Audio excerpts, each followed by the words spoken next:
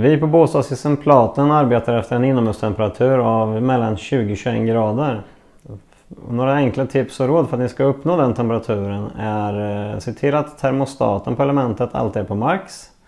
Se till att eh, ni inte möblerar så att elementet är täckt av gardiner eller att det står en soffa eller dylikt framför elementet så att värmen från elementet kan sprida sig ordentligt ut i lägenheten. När ni väljer att vädra ur lägenheten så gör det med tvärdrag, korsdrag, eh, korta stunder. För att inte hela lägenheten ska kylas av.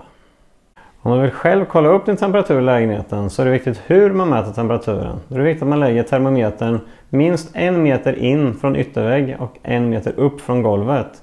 Förslagsvis på vardagsrumsbordet, tv-bänken eller dylikt.